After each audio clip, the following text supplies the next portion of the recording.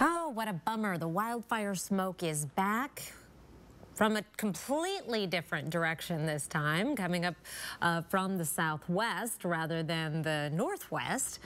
And uh, good timing, though, if things had to go south air quality wise. I am glad it was today and not yesterday. Your forecast first for tonight hazy overnight, 63 degrees for an overnight low. Otherwise, clear skies. Tomorrow, sunny but hazy.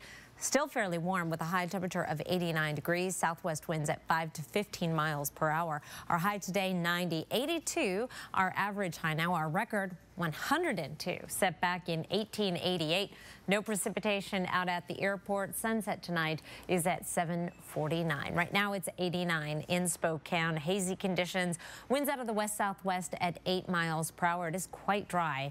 It is 89 right now in Coeur d'Alene with clear skies and light winds. Here's a look at our satellite and radar. We're mostly clear across the region. Some showers and thunderstorms to our south. We do have a front that is trying to make its way in our direction. It's running into what's left of a ridge of high pressure. That southwesterly flow on the western edge of the ridge is bringing up wildfire smoke from Oregon. The ridge of high pressure is going to make its way off to the east and allow this front eventually to speed up and zip its way through tomorrow right about this time. It's going to be knocking on the back door. The best chance of thunderstorms is going to be in southeastern Washington and up through the central panhandle into western Montana.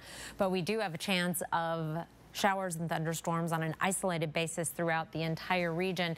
We also see those winds picking up behind this front, and that is another concern uh, with our fire weather we cool down behind the front uh, for some pleasant end of the week weather. Overnight lows tonight will be down in the 50s and 60s with high temperatures tomorrow once again in the 80s and 90s in your seven day forecast. We're cooling down. Uh, storms coming in late tomorrow night. They'll be gone by Thursday. Sunny on Thursday and cooler a high of 82, 80 on Friday.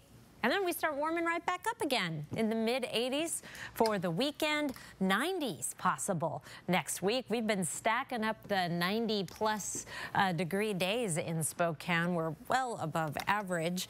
And uh, so just a brief dip down to our average temperatures for Thursday and Friday before we keep our summer-like weather uh, going right through next week. Not very many summer weekends left. School starts a week from Soon. Thursday or oh, something like that goodness. for Spokane District 81. I mean, yes, some of the well, other uh, schools sure, change sure. or start at different times, but it's getting close. They're yeah. running out of summer vacation.